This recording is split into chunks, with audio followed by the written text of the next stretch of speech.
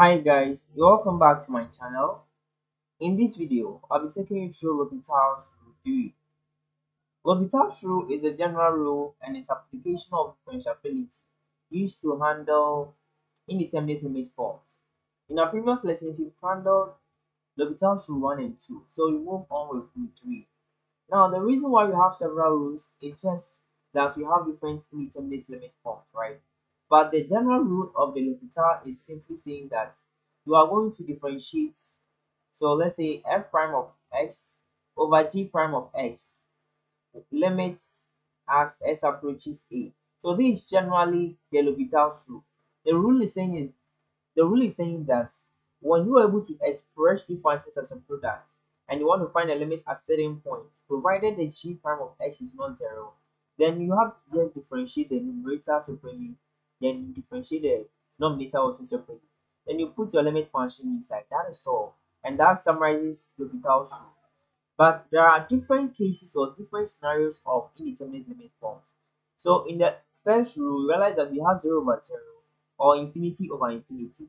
In the second rule, we had in the second rule, we had 0 times or infinity.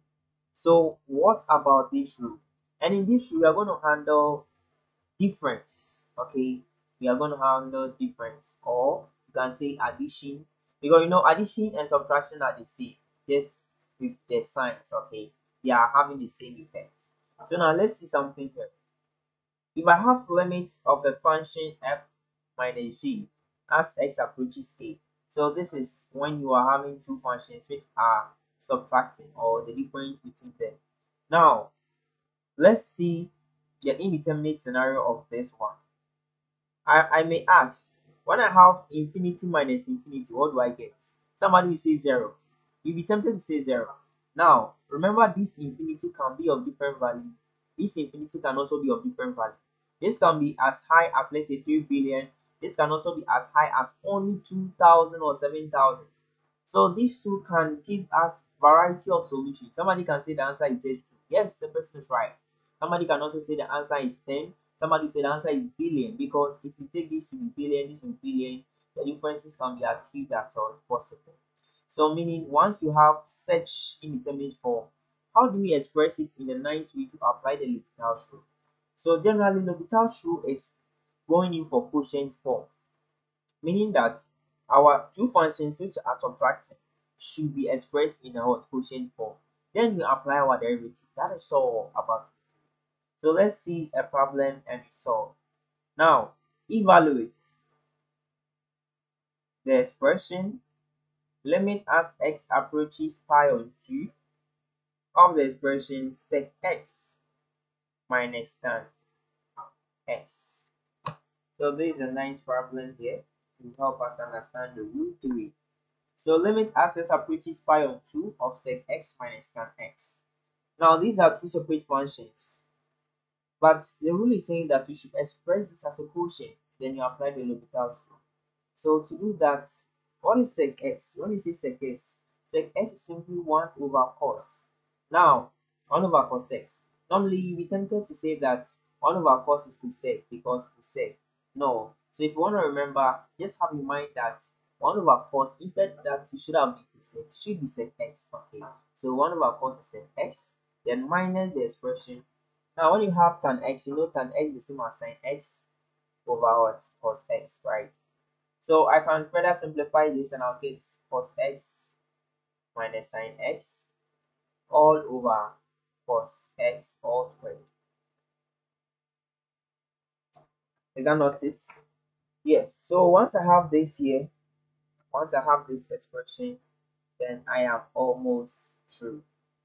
But see something. I made some nice error here.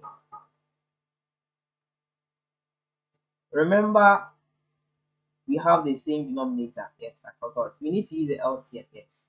So they have the same denominator. So we simply take out the difference of their numerators. So cos x minus sin x, that's I take, Let me reverse everything here.